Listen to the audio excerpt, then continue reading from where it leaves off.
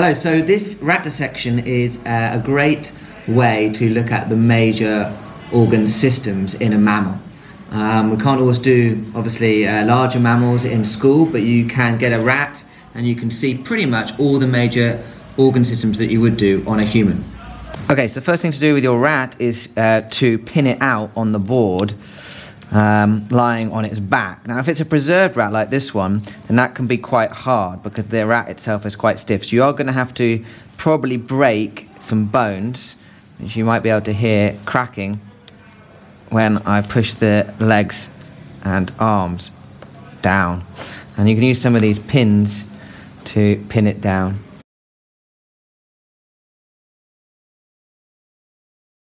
The rat is pinned down and we might be able to adjust those later if we need to.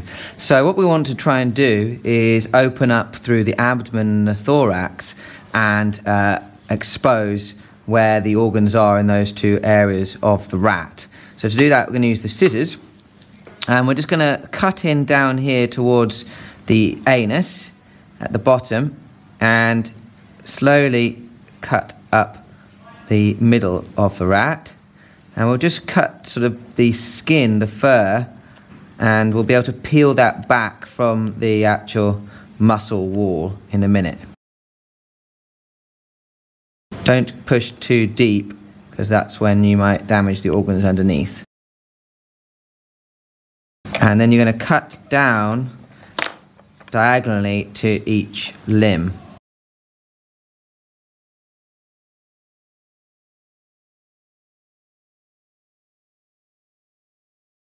Okay, and then we can start to, using the scalpel, just peel off that, the fur layer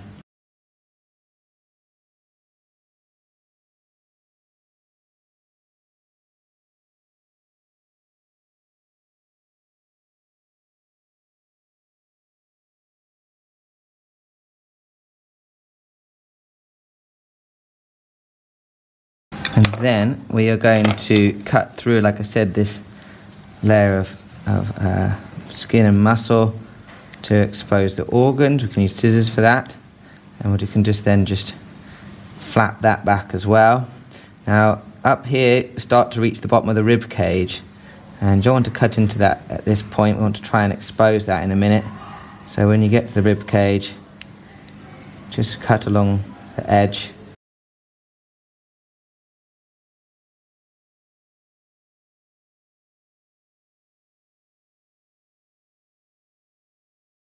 So now that we've uh, opened up the abdomen, what we'll focus on first is the thorax. So up here you can see the rib cage, and actually just underneath that, uh, we can see that there's a diaphragm just underneath here, which is sealing the whole thorax uh, to allow for ventilation for the movement uh, of the of the lungs uh, for gases exchange.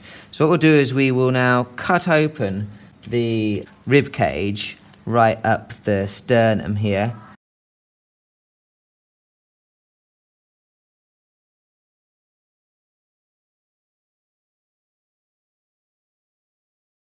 Okay, so then we can see inside there.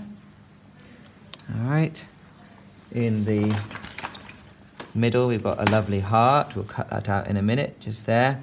And this is the right lung, uh, which you can see in three lobes.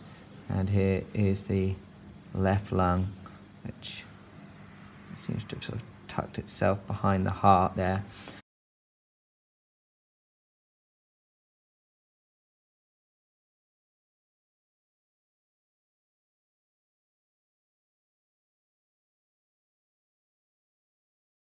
Right, so that's our rib cage there.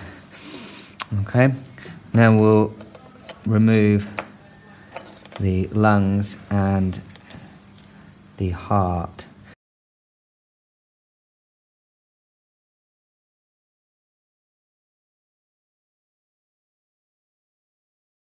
So here is our rat heart. Okay. That's a little atria on the top. There's the two atria.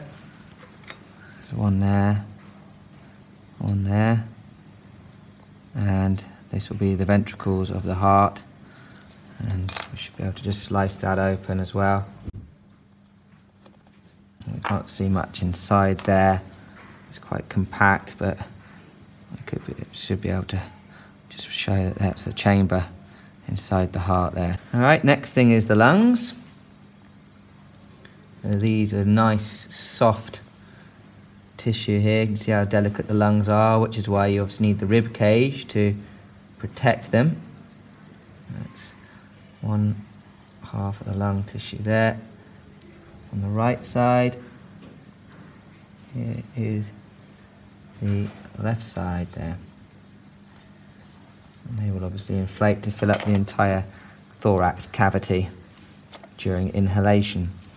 Cut out the diaphragm, a thin layer of muscle which contracts and flattens to increase the volume in the thorax, which lowers the pressure to allow movement to move in.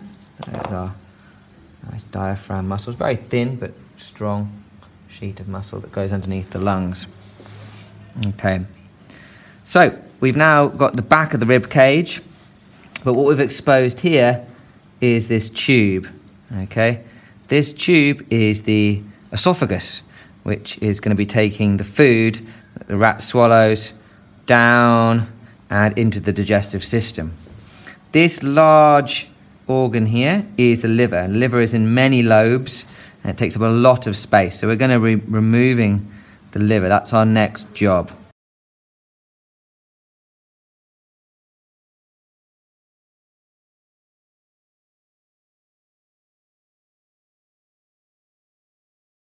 Can just see how big the liver is as an organ, how much space it's taken up. Absolutely huge.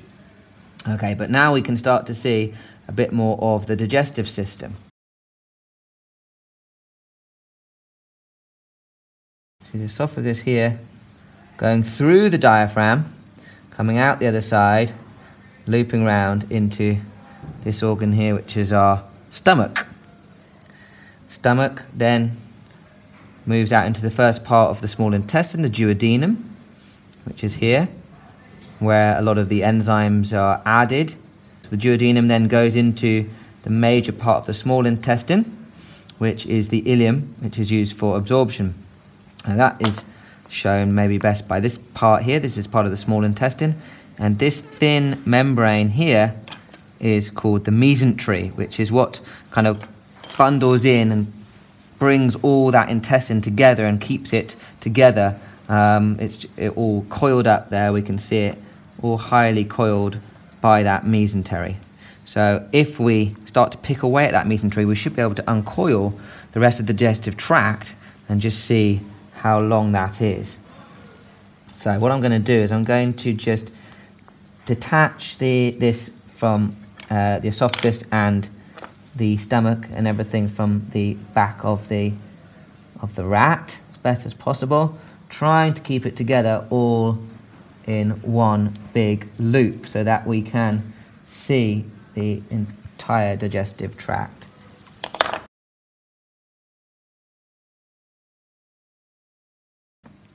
Okay, so now we've got it away from the posterior wall. You can start, just you can do this with your fingers. You don't need to actually, the mesentery is so fragile. You can just start to break that membrane and to start to uncoil the small intestine, which is actually very, very long, but it's a, the small intestine as opposed to the large intestine due to more its diameter. It's a smaller diameter.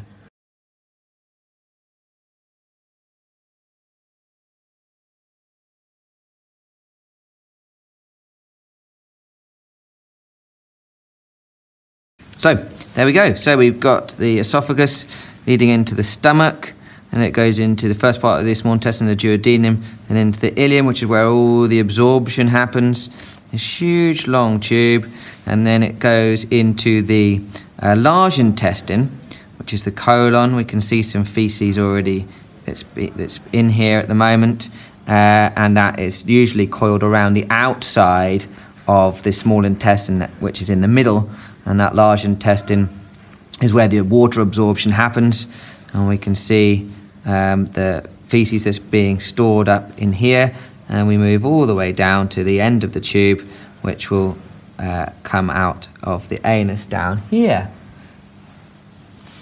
Okay, so what else can we see? Well, now we've exposed the, the real the back of the rat, we can see the urinary system a little bit. We can see the two kidneys.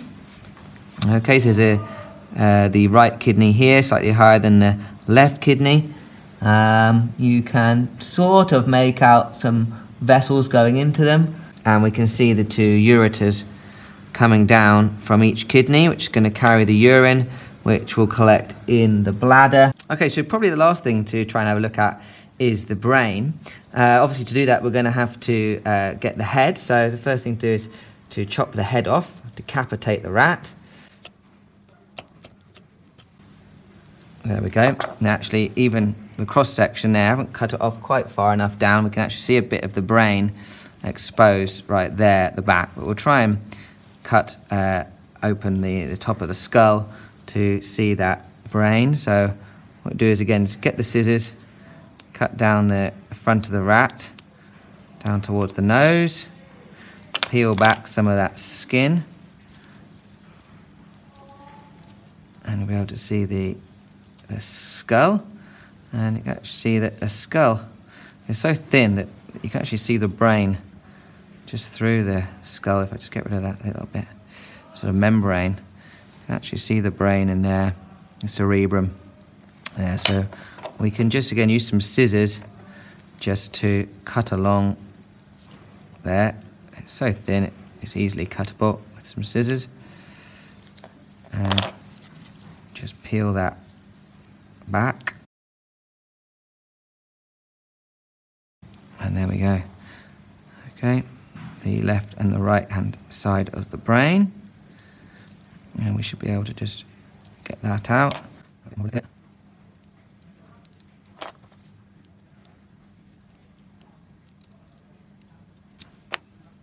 There we go. That's the base of the brain.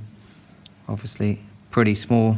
Okay, so that's a basic rat dissection. Like I said, it's fantastic because we've been able to see some of the respiratory system with the lungs, the cardiovascular system with the little heart, We've got the uh, digestive system, fantastic to be able to see the length here of the, of the small and the large intestine, the, the digestive tract, um, along with the accessory organs of digestion like the liver there, we've got the ribs and the thorax, and the urinary system inside at the back, see the size of the kidneys and the ureters coming down, and finally uh, the rat brain.